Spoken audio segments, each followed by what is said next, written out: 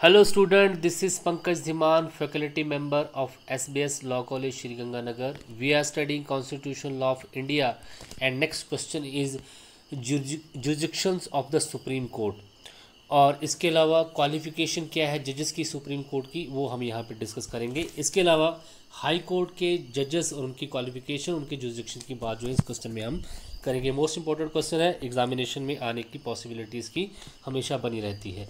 तो देखिए इंट्रोडक्शन की बात करें तो यहाँ पे यही लिखा है कि सेंटर और स्टेट में जो डिवीज़न ऑफ़ पावर्स होता है और इसकी वजह से जो है यहाँ पे जुडिशरी सिस्टम होना बहुत ज़रूरी है, क्योंकि फेडरल कॉन्स्टिट्यूशन में हमेशा सेंटर और स्टेट के बीच में जो पावर की जो है डिस्ट्रीब्यूशन होती है और जब पावर की डिस्ट्रीब्यूशन जो है सेंटर स्टेट के बीच में होती है तो वहाँ पे डिस्प्यूट की पॉसिबिलिटी भी हमेशा बनी रहती है। और उस कंडीशन में जहाँ पे कॉन्स्टिट्यूशन के किसी प्रोविज़न से रिलेटेड सेंट्रल स्टेट और उनकी पावर से रिलेटेड कोई डिस्प्यूट क्रिएट हो जाता है तो उस कॉन्स्टिट्यूशन की इंटरप्रटेशन जो है बहुत ज़रूरी हो जाती है।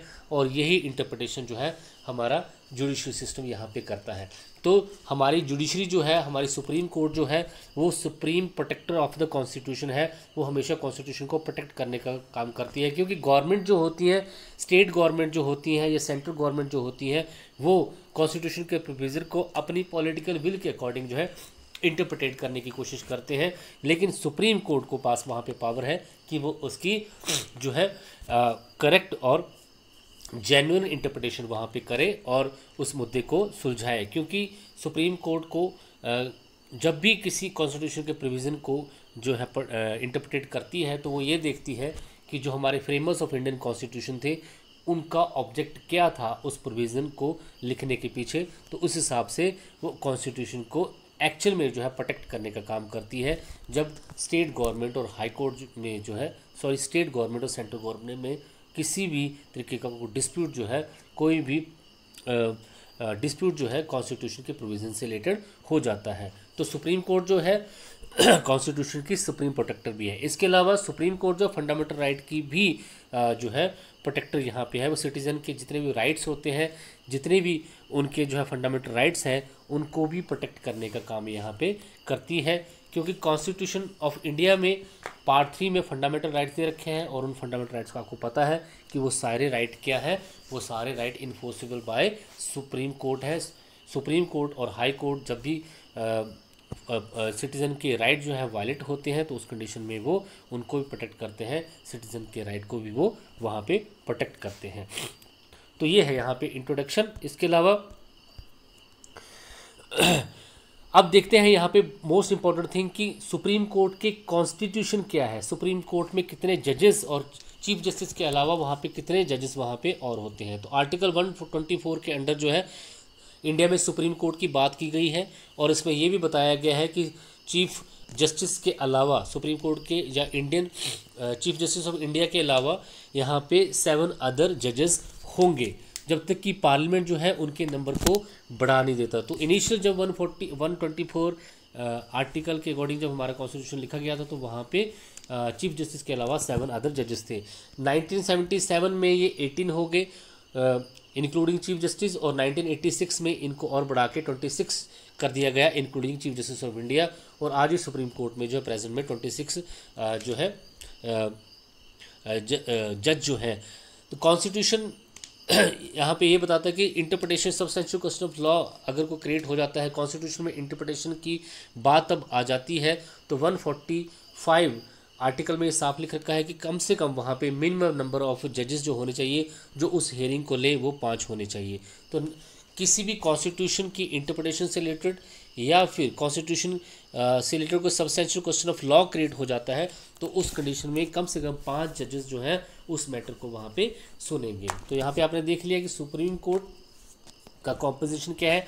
आर्टिकल 124 में इनका कॉम्पोजिशन बताया गया है और साथ में बताया गया है कि कितने जजेस वहाँ पे होंगे। तो प्रेजेंटली यहाँ पे 26 जजेस हैं। अभी तो और भी बढ़ चुके हैं। मिनिमम नंबर ऑफ़ जजेस कितने होंगे ये बताया नहीं गया है।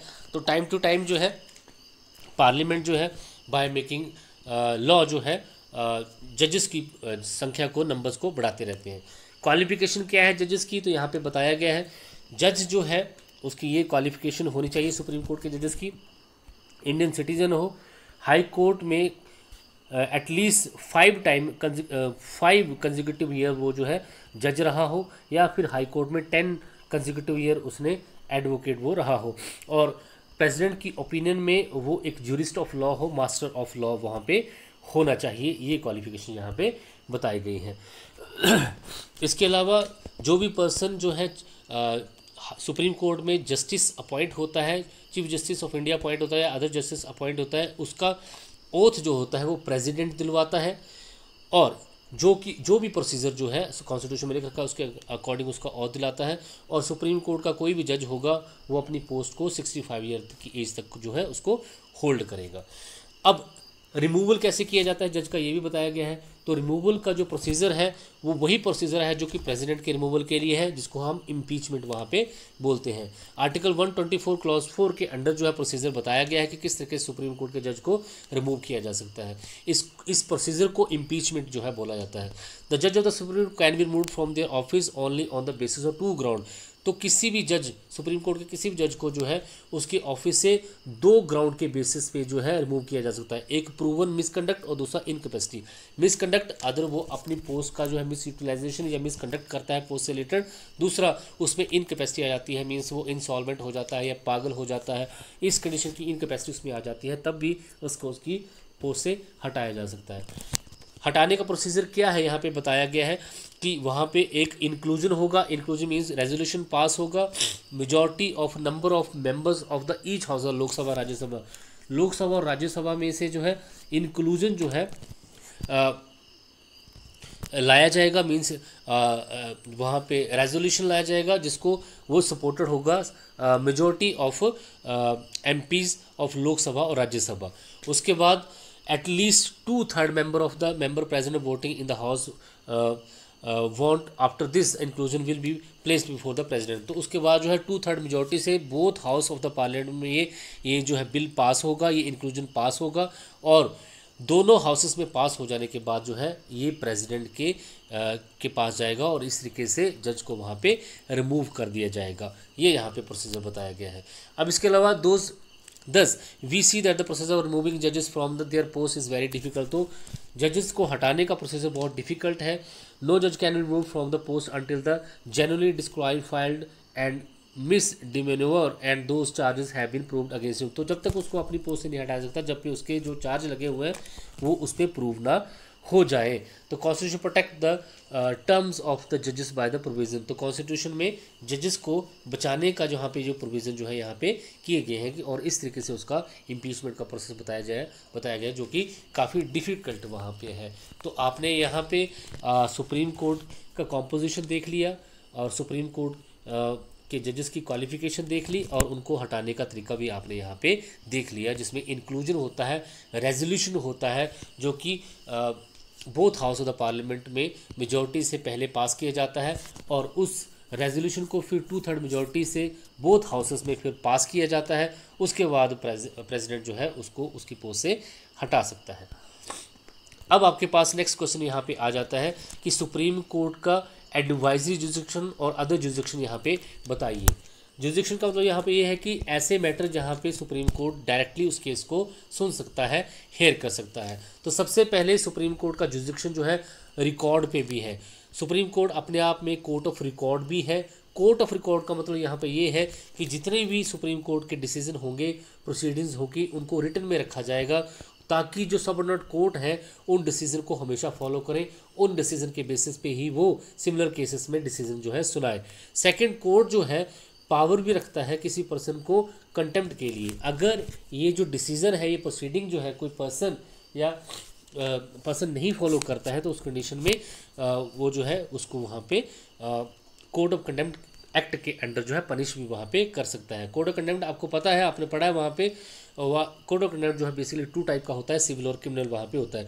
सिविल कंटेम्प्ट आपको पता है अगर आप जानबूझ के सिविल केसेस में उसमें दी गई decree, judgment, order instruction, writ को प्रोसेस नहीं करते हैं, कोर्ट के प्रोसेस को फॉलो नहीं करते हैं, कोर्ट को जो प्रॉमिस दिया उसको पूरा नहीं करते हैं तो इसको सिविल कंटेम्प्ट बोला जाता है और सुप्रीम कोर्ट ऐसे केसेस में contempt of the court act 1971 के अंडर जो है पनिश भी वहाँ पे कर सकती है। दूसरा क्रिमिनल कंटेम्प्ट भी होता है जहाँ पे आप पब्लिकेशन कर देते हैं किसी भी जुडिशल प्रोसीडिंग का सुप्रीम कोर्ट के अंडर जो प्रोसीडिंग होते हैं, उसका पब्लिकेशन करते हैं बाय ऑर्ली और रिटर्न और और उससे जो है कोर्ट की जो अथॉरिटी है, वो डिमिनिशिंग होती है, या होने की टेंडेंसी वहाँ पे होती है, या फिर कोर्ट जुडिशियल प्रोसीडिंग जो होती है, किस तरीके से ऑब्स्ट्रक्ट वहाँ पे होती है, या उस पर एडवर्स इफ़ेक्ट वहाँ पे पड़ता है तो उस केसेस में क्रिमिनल अटेम्प्ट उसको माना जाता है, और criminal contempt of the court act 1971 के अंडर सुप्रीम कोर्ट ऐसे केसेस में पर्सन को पनिश वहाँ पे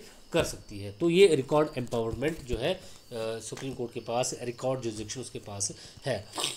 अब दूसरा यहाँ पे आपके पास इनिशियल इम्पावरमेंट इनिशियल इम्पावरमेंट यहाँ पे क्या है, जिसको हम primary jurisdiction of the supreme court में बोल सकते हैं आर्टिकल 131 के अंडर। तो प्राइमरी जुडिक्शन क्या होता है? इनिशियल इनिशियल इम्पावरमेंट क्या होती है, जहाँ पे सुप्रीम कोर्ट डायरेक्टली उन केसेस को सुन सकती है ऐसी पार्टीज़ के बीच में। तो अगर मैटर जो है डिस्प्यूट जो है वो यूनियन और एक से ज़्यादा स्टेट के बीच में है। ए, एक तरफ़ जो है सेंट्रल गवर्नमेंट है दूसरी तरफ़ एक स्टेट या एक से ज़्यादा स्टेट जो है किसी मैटर पे आपस में लड़ पड़ती हैं उनका कोई डिस्प्यूट हो जाता है तो ऐसे डिस्प्यूट सीधे सुप्रीम कोर्ट में जाएँगे। दूसरा एक तरफ़ सेंट्रल गवर्नमेंट है, कुछ स्टेट भी उसके साथ है, दूसरी तरफ़ एक स्टेट है या एक से ज़्यादा स्टेट जो है, आपस में उनका किसी बात पे कंट्रोवर्सी हो जाती है, कोई डिस्प्यूट हो जाता है तो ऐसे मैटर भी सीधे सुप्रीम कोर्ट में जाएँगे। इसके अलावा दो से ज़्यादा स्टेट आपस में किसी मैटर में डिस्प्यूट हो जाता है, जैसे रिवर डिस्प्यूट होते हैं स्टेट्स के बीच में, ऐसे मैटर होते हैं तो ये डायरेक्टली सुप्रीम कोर्ट में सुनवाई के लिए जा सकते हैं। सुप्रीम कोर्ट ऐसे केसेस को डायरेक्टली वहाँ पर सुन सकता है और उनका इस पर जो है इनिशियल जुजिक्शन जो है आ जाता है। इसके अलावा initial jurisdiction with respect of fundamental right तो प्राइमरी जुडिक्शन सिर्फ़ और सिर्फ़ ये स्टेट के डिस्प्यूट से रिलेटेड नहीं है सेंट्रल स्टेट के डिस्प्यूट से रिलेटेड नहीं है फंडामेंटल राइट से रिलेटेड भी सुप्रीम कोर्ट का जो है यहाँ पे प्राइमरी जुडिक्शन आता है। आर्टिकल थर्टी टू के अंडर आपने रिट्स पढ़ी थी और रिट जो है, सीधी जो है लगाई जा सकती हैं सुप्रीम कोर्ट में जब किसी पर्सन के फंडामेंटल राइट या सिटीज़न के फंडामेंटल राइट की वायलेशन वहाँ पे हो रही हो तो हर एक सिटीज़न को राइट है कि अगर उसके फंडामेंटल राइट की जो है जो है वायलेशन वहाँ पे हो रही है वो अपने फंडामेंटल की राइट की इन्फोर्समेंट के लिए सीधा सुप्रीम कोर्ट को जो है वहाँ पे आ, आ, जा सकता है सुप्रीम कोर्ट में डायरेक्टली जा सकता है। Article thirty two provide for speedy treatment against the violation of the basic right of the citizen तो आर्टिकल थर्टी टू के अंडर जो है सिटीजन के जो राइट है, उनका स्पीडली स्पीडी ट्रीटमेंट किया जाता है। जल्दी से जल्दी जो है, वहाँ पे जस्टिस जो है अगर फंडामेंटल राइट की ब्रीचमेंट हो रही है तो वहाँ पे पर्सन को प्रोवाइड किया जाता है। इसके अलावा अपीलेट जुडिक्शन भी है। अपीलेट जुडिक्शन जहाँ पे हाई कोर्ट के डिसीज़न के अगेंस्ट जब सुप्रीम कोर्ट अपील सुनती है तो उसको सुप्रीम कोर्ट का अपीलेट जुडिक्शन जो बोला जाता है आर्टिकल 32 के अंडर तो हाई कोर्ट ने जितने भी डिसीज़न दिए हैं सिविल मैटर में क्रिमिनल मैटर में कॉन्स्टिट्यूशनल मैटर में, उन डिसीज़न के अगेंस्ट अपील जो है, सुप्रीम कोर्ट सुनती है और इसी को सुप्रीम कोर्ट का जो है, अपीलेट जुडिक्शन जो है बोला जाता है। तो ये तीन तरीके का होता है appeal in the constitutional matters appeal in the civil cases and appeal in the criminal cases. तो ऐसे केसेस जिनकी जो, जिसका डिसीज़न जो है, क्रिमिनल केसेस में अगर डिसीज़न हाई कोर्ट ने दिया है तो उसकी अपील आप सुप्रीम कोर्ट में कर सकते हैं। सिविल केसेस में अगर कोई डिसीज़न हाई कोर्ट ने दिया है तो उसकी अपील आप कर सकते हैं। और कॉन्स्टिट्यूशनल मैटर में भी अगर हाई कोर्ट ने कोई डिसीज़न किया है तो उसकी अपील आप 132 आर्टिकल के अंडर सुप्रीम कोर्ट में कर सकते हैं। ये सुप्रीम कोर्ट का अपीलेट जुडिक्शन यहाँ पे आ जाता है। तो यहाँ पे बताया गया है कि हाई कोर्ट किसी भी मैटर में कोई डिसीज़न, कोई डिक्री को फाइनल ऑर्डर देता है चाहे वो सिविल मैटर है, चाहे क्रिमिनल मैटर है तो उस कंडीशन में इसकी अपील आप सुप्रीम कोर्ट में कर सकते हैं। कंडीशन यहाँ पे यही है कि यहाँ पे न्यू आर्टिकल यहाँ पे इंक्लूड किया गया है। इसके अंडर ये है कि हाई कोर्ट ऐसे मैटर में जहाँ पे उसने कोई डिसीज़न किया है, कोई फाइनल ऑर्डर किया है सिविल क्रिमिनल मैटर में, अगर वो चाहता है कि इसकी अपील सुप्रीम कोर्ट में हो तो इसके लिए वो एक सर्टिफिकेट जो है पार्टीज़ को देगा और पार्टी फिर जो है इसकी अपील सुप्रीम कोर्ट में कर सकते हैं। प्रायर टू द अमेंडमेंट ऐसा नहीं था। पहले, इस अमेंडमेंट से पहले फोर्टी फोर्थ अमेंडमेंट से पहले क्या प्रोविज़न था कि हाई कोर्ट जो था सर्टिफिकेट तभी सिर्फ़ पार्टी की एप्लीकेशन पे ही देता था। लेकिन इस अमेंडमेंट के बाद जो है हाई कोर्ट अपने मोशन पे भी ऑन इट्स ऑन भी जो है, वहाँ पे एक सर्टिफिकेट दे सकता है और अपील अलाउ कर सकता है। तो चाहे कॉन्स्टिट्यूशन मैटर हो सिविल मैटर हो क्रिमिनल मैटर हो, सभी में हाई कोर्ट जब तक सर्टिफिकेट नहीं देगा अपील का, तब तक उसकी अपील सुप्रीम कोर्ट में नहीं की जा सकती है।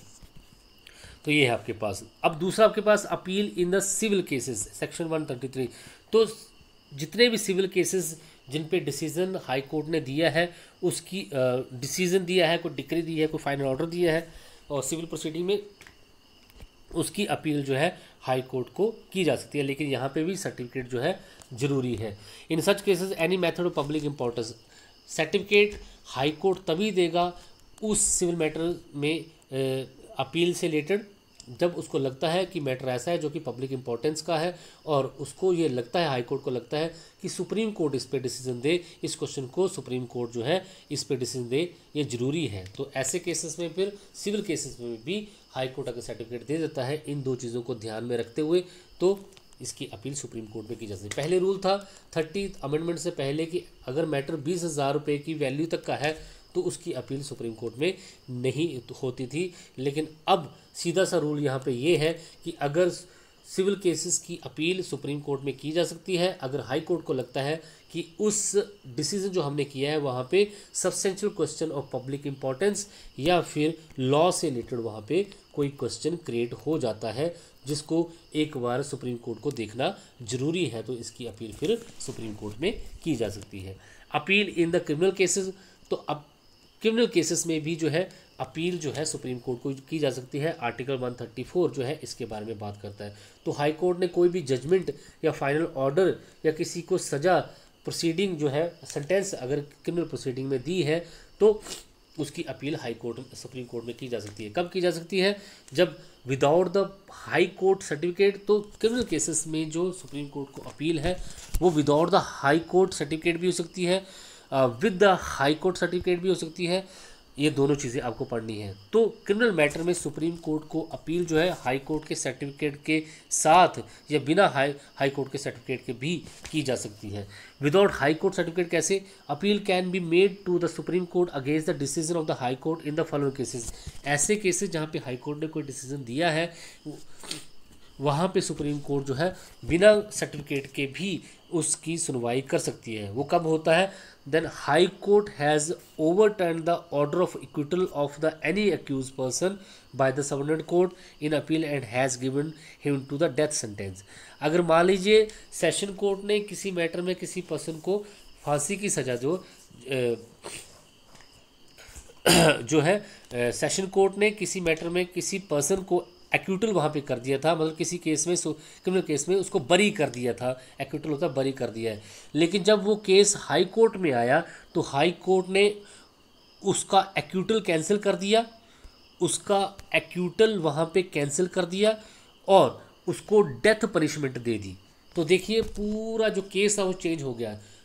सेशन कोर्ट ने किसी क्रिमिनल केसेस में किसी को जो है जो उसको उसको किसी क्रिमिनल केस में बरी कर दिया। अब इसकी अपील हाई कोर्ट में हुई। हाई कोर्ट के पास जब ये केस आया तो उसने उसके एक्यूटल को तो रद्द किया ही, उसको फांसी की सज़ा दे दी। तो ऐसी अपील डायरेक्टली सुप्रीम कोर्ट में जा सकती है और वहाँ पे हाई कोर्ट का सर्टिफिकेट भी आपको नहीं चाहिए। दूसरा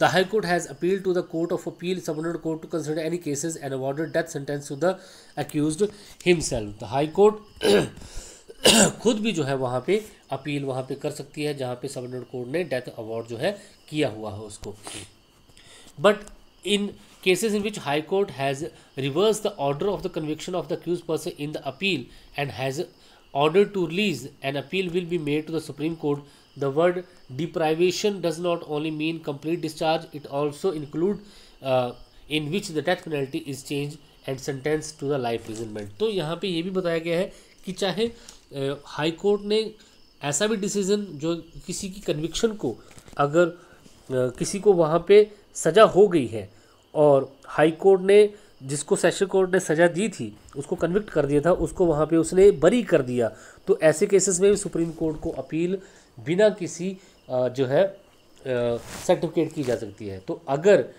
दो मैटर यहाँ पे हैं, दो चीज़ें यहाँ पे आपके सामने आती हैं कि सुप्रीम कोर्ट कैसे जो है किसी भी क्रिमिनल केस में अपील डायरेक्टली सुन सकता है, उसको हाई कोर्ट हाई कोर्ट के सर्टिफिकेट की ज़रूरत नहीं है। वो तब होता है जब हाई कोर्ट ने किसी मैटर में जो कन्विक्शन किसी पर्सन का सेशन कोर्ट में हो रखा था।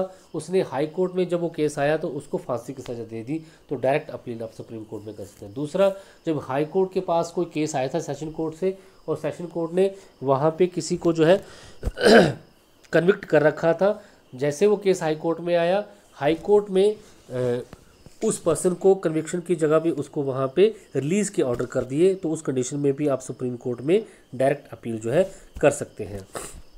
From the certificate of the high court अब कौन से केसेस जहाँ पे हाई कोर्ट के सर्टिफिकेट सर्टिफिकेट के साथ अपील होती है? Article 134 according to the high court section 134 added by the forty fourth amendment 1978 ये नया आर्टिकल वहाँ पे ऐड हुआ। फोर्टी फोर्थ अमेंडमेंट के साथ। Certificate that if the case is worthy to appeal of appeal of supreme court it will be appealed इसके अलावा high court को लगता है ऐसी कोई भी सिविल क्रिमिनल मैटर में अपील जो कि सुप्रीम कोर्ट को की जानी चाहिए वो विद सर्टिफिकेट भी उसको अला कर सकता है। The right to give a certificate of appeal in criminal matter is a description of the high court तो किसी क्रिमिनल uh, मैटर में सर्टिफिकेट uh, देना अपील के लिए ये हाई कोर्ट की डिस्क्रिप्शन पे डिपेंड करता है। But the high court cannot exercise its description arbitrary लेकिन हाई कोर्ट इस डिस्क्रिप्शन का मनमाने तरीके से यूज़ नहीं करेगा। वो एक्सेप्टेड प्रिंसिपल का वहाँ पे डेफिनेट प्रिंसिपल जो बने हुए हैं, उनका यूज़ वहाँ पे करेगा। तो क्रिमिनल मैटर में अपील जो है without the certificate of high court और with the certificate of high court जो है, की जा सकती है। ये आपने यहाँ पे पढ़ा। सिद्धेश्वर में स्टेट ऑफ़ वेस्ट बंगाल के केसेस में सुप्रीम कोर्ट ने बोला था कि जो हाई कोर्ट को गाइडलाइन दी गई है सर्टिफिकेट देते जाए, उनको उन गाइडलाइन को फॉलो करना चाहिए। अब आपके पास appeal to the special permission article 136 के अंडर यहाँ पे बहुत ही इंपॉर्टेंट अपील की बात की गई है। कोई भी डिसीज़न इंडिया की कोर्ट का कोई भी डिसीज़न किसी ट्रिब्यूनल के थ्रू ठीक है, किसी ट्रिब्यूनल का डिसीज़न यहाँ पे decree detention sentence order pass suit criminal cases में ट्रिब्यूनल ऑफ़ इंडिया किसी भी कोर्ट या ट्रिब्यूनल का डिसीज़न इंडिया में जिसकी अपील फर्दर नहीं हो सकती है तो आप 130 किसी भी कोर्ट में आप इसकी अपील नहीं कर सकते हैं। मतलब जो भी ऑर्डर किसी भी सिविल कोर्ट या क्रिमिनल कोर्ट ने दिया कोई सेंटेंस दी कोई वहाँ पे आ, जो है वहाँ पे ऑर्डर दिया कोई फाइनल डिक्री दी और वहाँ पे साफ़ लिख दिया कि आप इसकी अपील अपर कोर्ट में नहीं कर सकते हैं तो वहाँ पे आप एक एप्लीकेशन सुप्रीम कोर्ट को डायरेक्टली आर्टिकल 136 के अंडर लगा सकते हैं और इसके बाद जब सुप्रीम कोर्ट जो है उस एप्लीकेशन को देखेगा और उसको लगता है कि वहाँ पे कोई भी ऐसा क्वेश्चन है, इसको और इसको सुनना ज़रूरी है तो उस अपील को एक्सेप्ट कर सकता है। तो ऐसे केसेस जहाँ पे अपील हो ही नहीं सकती थी तो आपको सुप्रीम कोर्ट को अंडर आर्टिकल 136 उस अपील को सुनने का भी राइट दिया गया है। इसके लिए पार्टीज़ को सुप्रीम कोर्ट में एप्लीकेशन लगानी होगी। और उस एप्लीकेशन को लेने के बाद सुप्रीम कोर्ट डिसाइड करेगा कि हमने ये केस लेना है कि नहीं लेना है। तो 136 में ऐसे ऑर्डर ऐसे डिसीज़न ऐसी सेंटेंस जिसकी अगेंस्ट अपील आप किसी भी कोर्ट में नहीं कर सकते थे स्पेशली लॉ में लिख रखा था तो आप एक चांस और ले सकते हैं। आप सुप्रीम कोर्ट को एप्लीकेशन लगा सकते हैं कि ऐसा ऐसा डिसीज़न हुआ है और अंडर लॉ मुझे कोई भी अपील अलाउड नहीं है तो प्लीज़ और यहाँ पे कोई क्वेश्चन बनता है लॉ का सबसे अच्छा क्वेश्चन ऑफ़ लॉ है यहाँ पे आप इस अपील को एक्सेप्ट करिए। तो आर्टिकल 136 की पावर का यूज़ करके सुप्रीम कोर्ट चाहे तो ऐसी अपील को एक्सेप्ट कर सकता है। इसके अलावा कंसल्टिव एम्पावरमेंट है आर्टिकल 143 के अंडर इसके अंडर प्रेसिडेंट को लगता अगर चाहे प्रेसिडेंट कभी भी चाहे तो किसी भी लीगल मैटर पे सुप्रीम कोर्ट से कभी भी आ, सलाह जो है ले सकता है इसको कंसल्टिव एम्पावरमेंट बोलते हैं। और ये सलाह जो है प्रेसिडेंट के लिए मानना, नहीं मानना ज़रूरी नहीं है कि वो, लेकिन वो किसी भी लीगल मैटर में सुप्रीम कोर्ट से प्रेसिडेंट जो है सलाह मांग सकता है। कहाँ मांग सकता है? जब प्रेसिडेंट को लगता है any such question of law और फैक्ट हैज़ अराइजन और लाइकली टू ऐसा कोई क्वेश्चन जो लॉ से रिलेटेड है, ऐसा कोई फैक्ट जो है लॉ से रिलेटेड है और उसको सुनना ज़रूरी है, उसके बारे में राय लेना ज़रूरी है। It is such nature that such public importance that it is expedient to seek the opinion of the supreme court और ये ऐसी पब्लिक इंपॉर्टेंस का सब्जेक्ट है जिसको सुप्रीम कोर्ट से अपीनियन लेना उसके बारे में बारे में बहुत ज़रूरी हो जाता है। तो आर्टिकल 143 के अंडर जो है सुप्रीम कोर्ट को वहाँ पे एडवाइस करने का राइट मिल जाता है।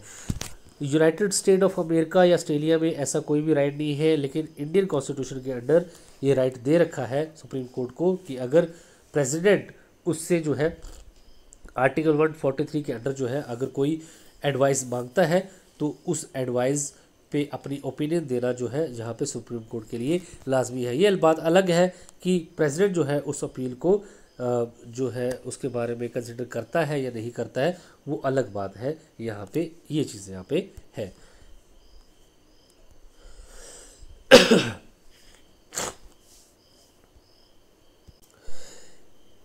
In re special court of India A R nineteen के केसेस में साफ़ बोला गया था सुप्रीम कोर्ट के थ्रू कि सुप्रीम कोर्ट बाउंड है। अगर प्रेसिडेंट ने कोई ओपिनियन मांगी है किसी लीगल मैटर में तो सुप्रीम कोर्ट बाउंड है उस ओपिनियन को देने के लिए। The court also has set the opinion given by supreme court is binding on all courts और इसके अलावा सुप्रीम कोर्ट की कोई भी ओपिनियन है, वो बाकी सभी कोर्ट के लिए भी बाइंडिंग हो जाती है। लेकिन प्रेसिडेंट जो है, उस ओपिनियन को माने या ना माने इसके लिए प्रेसिडेंट जो है बाउंड यहाँ पे नहीं है, यही चीज़ जो यहाँ पे बोली गई है।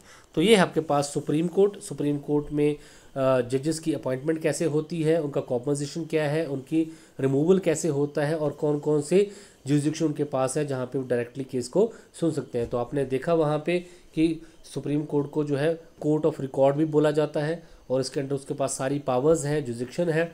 दूसरा आपने वहाँ पे देखा कि उनके पास प्राइमरी जुजिक्शन भी है, जहाँ पे डायरेक्टली स्टेट के डिस्प्यूट जो है डायरेक्टली वो सुन सकता है रिवर्स के डिस्प्यूट वो डायरेक्टली सुन सकता है फंडामेंटल राइट आर्टिकल 32 के अंडर जितने भी रिट्स हैं वो डायरेक्टली वहाँ पे सुन सकता है। इसके अलावा आपने देखा कि उनके पास अपीलेट जुजिक्शन भी है अपील के थ्रू भी सुप्रीम कोर्ट के पास बड़े सारे केसेज आते हैं कॉन्स्टिट्यूशनल मैटर भी आते हैं सिविल मैटर से रिलेटेड भी अपील भी आती है। क्रिमिनल मैटर में भी अपील आती है, लेकिन आपने वहाँ पे देखा कि हाई कोर्ट का सर्टिफिकेट वहाँ पे ज़रूरी होता है, जब तक वो सर्टिफिकेट नहीं देंगे अपील फर्दर नहीं होगी। लेकिन क्रिमिनल मैटर में कुछ ऐसे पॉइंट है जहाँ पे विदाउट द सर्टिफिकेट भी अपील की जा सकती है।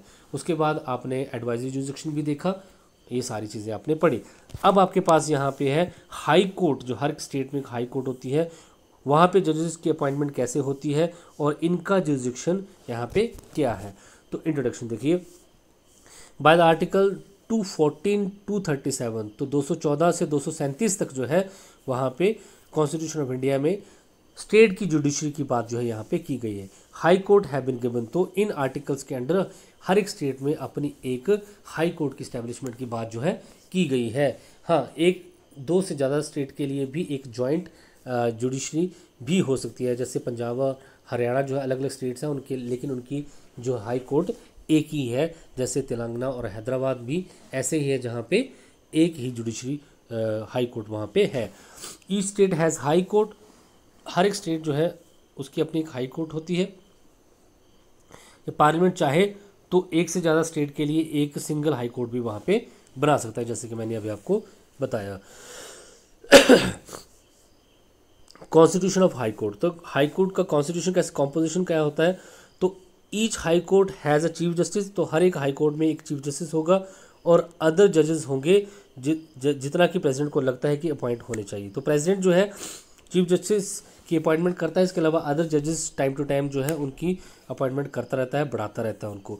The constitution does not set a maximum number of high court जजेस कॉन्स्टिट्यूशन में ये कहीं पे भी लिख रखा कि maximum number of high court जजेस कितने होंगे ये अकॉर्डिंग टू द नीड ही वहाँ पे डिटर्मिन किया जाता है। तो यहाँ पे क्लियर है कि एक हाई कोर्ट में एक chief justice of that particular high court होगा और उसके अलावा अदर जजेस होंगे जिनकी संख्या जो है वो डिटर्मिन नहीं है, उनको time to time according to the need बढ़ाया जा सकता है। क्वालिफिकेशन ऑफ़ जजेस क्या है? तो 217 आर्टिकल में जजेस की क्वालिफिकेशन यहाँ पे बता रखी है और ये सिटीज़न ऑफ़ इंडिया होना चाहिए। जैसे कि आपने पढ़ा यहाँ पे, हाई सुप्रीम कोर्ट में भी यही पढ़ा। दूसरा India has held judicial office in the territory for at least ten year कोई भी जुडिशल ऑफ़िस उसने पिछले दस साल के लिए होल्ड किया हो और कोई भी जुडिशल ऑफ़िस पिछले दस साल तक उसने इंडिया की टेरिटरी में होल्ड किया हो has been advocate in the high court for at least ten year या फिर पिछले दस साल तक वो हाई कोर्ट में एडवोकेट रहा हो तो फिर वो एलिजिबल हो जाता है हाई कोर्ट का जज बनने के लिए।